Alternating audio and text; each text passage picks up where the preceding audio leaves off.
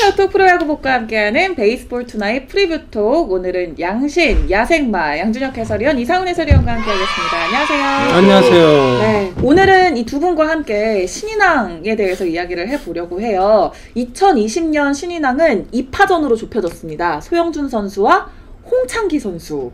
일단 뭐 소형준 선수는 류현진 선수 이후에 14년 만에 고졸 선발 10승을 달성을 했고요. 또 홍창기 선수는 어 5년차 중고 신인임에도 불구하고 굉장한 성구안을 보여주면서 눈야구, 창기놀이라고 하죠. 예. 를 보여주고 있습니다. 두 분이 생각하기에는 어떤 선수가 좀 신인왕에 더 가깝다고 생각하시나요? 웬만하면은 뭐전 타자 쪽을 조금 밀어주고 싶은데 네. 소영주 선수가 워낙에 뛰어나고 그리고 아. 홍창기 선수는 이미 좀그 중고 신인이다 보니까 네. 신인의 맛이 조금 떨어지는 맛이 없잖아 있어서 아, 좀 아무래도 소영주 선수 좀 더 무게가 좀 더 있다고 봐야 되죠. 어, 이상훈 의원은요? 저도 조금 부연 설명을 드리면 네. 양 의원님 말씀하셨잖아요. 중고신이라는. 근데 그 5년간의 그 아픔이 있을 거예요. 그거를. 또 무시는 할 수 없고. 근데 지금 소영주 선수가 14년 만에 이제 또 앞에 유현진 선수 다음에 10승 고졸 10승을 했기 때문에 거기에 대한 어떤 임팩트가 좀 더 강하지 않나. 대기록이었죠. 네. 뭐 아무래도 지금 2017년도 이정우 선수부터 뭐 강백호 선수, 정우영 선수까지 이 고졸 프리미엄이라는 게 작용을 하는 것 같아요. 두 분 어떻게 생각하세요? 글쎄요, 이제 그, 사실은 그, 이정우, 강백호, 뭐 이 선수들 나오기 전까지만 해도, 좀, 특히 신인들이 좀 좋은 선수들이 그전에 좀 잘 안 보였었는데, 네. 이제 대형 선수들이 좀 나옴으로 해가지고, 이제 이 프로야구의 어떤 그 질이 그 아. 확실히 좀 많이 높아졌어요. 맞아요. 예. 그, 내가 방송에도 한번 얘기했는데, 네. 명품이 왜 명품인지 아십니까? 계속 신상품이 나오기 때문에 명품이거든요. 예. 명언 제조기 아 진짜요. 양신왈. 오. 예. 어. 우리 그 예. 저기 뭡니까 그 공항에 가면은 그 면세점 있잖아요. 그 네. 명품관 있잖아요. 보면은 항상 그 신상품이 나와 있다. 그래서 어 이게 명품이다. 예. 야. 그러니까 그래, 그래서 이 프로야구 그더 어떤 각광을 받고 더 사랑을 받으려 그러면은 기존 선수들보다 이렇게 어린 선수들이 자꾸 계속 신상품 내듯이 계속 나와줘야 된다는 거죠. 사실 이 두 분 93년도에 마치 혜성같이 프로에 입단한 동기라고 저희가 알고 있습니다. 그때 신인 시절 조금 기억나시나요?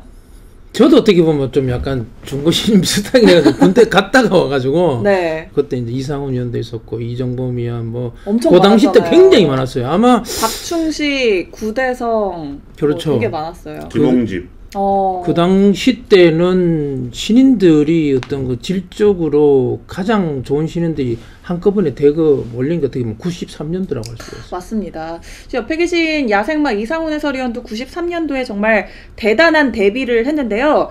93년도 데뷔하자마자 150이닝, 9승, 9패, 3경기 연속 완투승, 시즌 7번 완투에 3번 완봉. Wow. 뭐 이만하면 신인왕 받아야 되는 거 아닌가요?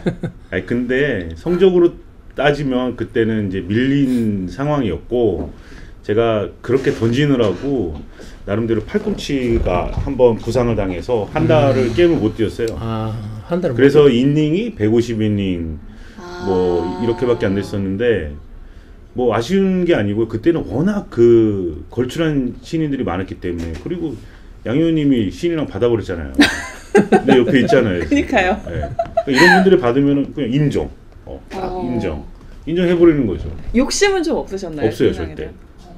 왜냐면은 이 저는 한 달을 게임을 못 나가서 네. 예. 그래서 아. 이미 그거는 이제 그때는 그 정도도 자격이 안 되는 어, 성적의 세대였었어요. 너무 걸출한 사람이 네. 많았기 때문에 선수들이 많았겠었기 그리고 양현님이 만약 못 받았으면은 네. 이정범이라는 선수도 있었고 아 맞습니다. 네. 구대성도 있었고 구대성도 네. 있었고. 근데 그 대성이는 구대성 지금 감독은 그 당시 때는 그 당시 이 신인 때는 거의 게임을 못 나왔었어요. 음. 대학교 때 많이 던져서 고등학교 대학교 때 그 그래서 아마 몸이 좀 안 좋아서 저희 신인 때는 많은 등판을 하지 않았어요. 그때 어. 이제 신이 누구였었냐면은 김경원이 네. 박충치, 이대진 어, 음, 이런 이대진 선수 까지 네. 그런 신인을 뚫고 여러분 신인왕을 받으신 분이 바로 양신 양준혁 해설위원이에요. 그때 당시에 뭐 타율 1위, 출루율, 장타율, OPS 모두 1위를 달렸고요. 뭐 홈런은 2위. 와, 뭐 데뷔하자마자 이렇게 잘할 수가 있나요? 18년 동안 이제 신인 때 제일 잘했던 것 같아요. 그게 다야. 그게. 그게 어떻게 가능하냐고요? 더 잘해야 되는데 그냥 계속 이 어떻게 보면 이 태보죠 어떻게 보면. 핑키한 하루님은 양신님은 종범신과 신인왕 대결할 때 언제쯤 내가 탈 것 같다라는 생각을 하셨네요. 아 내가 그때 신인 때 이제 그 타계공하고 삼관왕을 했어요. 네. 타이틀을 내가 이제 한 세 개가 있었기 때문에 와 진짜 대단하시네요. 그때는 이제 뭐 타이틀이 있었기 때문에 솔직히 신인왕은 자신 있었어. 그때. 오. 음, 그때는 이제 솔직히 말해가지고 그때 MVP까지도 이제 도전했는데 그 당시 때는 또 신인왕하고 MVP가 같이 안 주는 분이라 가지고 음, 맞아요. 예, 신인왕은 또 태어나서 한 번밖에 받지 못하는 상이잖아요. 예. 그래서 나는 신인왕이 의미가 두분 컸어요. 두 개가 있어요. 신인왕이요? 예, 어떻게? 두 개가 있어요. 어떻게요? 야구할 때 한 번 하고 네. 은퇴하고 나서 네. 이제 방송에 나가서 예, 이제 그 예능을 했더니 신인상을 신인- 주더라고. 예능 신인 그, 그 시장 시장 아, 진짜요? 예, 그때 KBS 쪽에 와. 예, 예능에서 신인왕이 두개 그래가지고. 박수. 그럼 이상훈 의원은 신인 때 이종범 선수와 양준혁 선수 중 누가 더 까다로웠냐고 질문을 해주셨어요. 그거는 내가 답할 수 있을 것 같은데. 종범이 정범이지. 아. 왜냐면 이, 이 자투수 약간 높게 들어오는 볼을 잘 음. 찍어 찍어가지고. 그리고 뭐가 있냐면 네. 양 의원님은 일, 어, 홈에서 1루까지 저주자잖아요. 네. 근데 정범이는 1루에서 2루, 2루에 3루, 3루. 오케이. 계속 왔다 갔다 그러니까. 어, 나가면 홈까지 들어와. 어.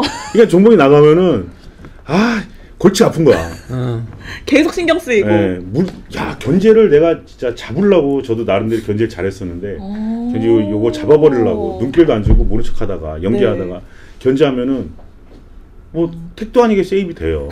그러다가 막 퀵모션에서 빨리 던지면 이루까지 뛰어버려. 진짜 미친다니까. 어. 보면은 리드를 한 5m 하는 것 같아.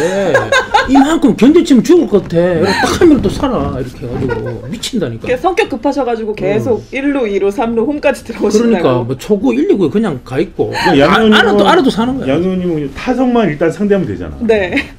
안 맞으려고. 근데 얘는 이정범은 나가면 막 다 계속 루상을 맞아요. 돌아다니니까 아, 그런 부담이 있는 거죠. 진짜 힘든 선수였군요. 진짜 아니 근데 뭐 나는 이게 꾸준하게 한 선수지만은 이 정도면 진짜 그 한 경기를 지배할 수 있는 그런 능력이 있기 때문에 음. 그 당시 때는 솔직히 뭐 이 정도면 거의 탑이 탑이었지. 자, 93년도를 주름 잡았던 우리 이상훈 해설위원 그리고 양준혁 해설위원과 함께 저희는 베이스볼 투나잇으로 돌아오도록 하겠습니다. 감사합니다.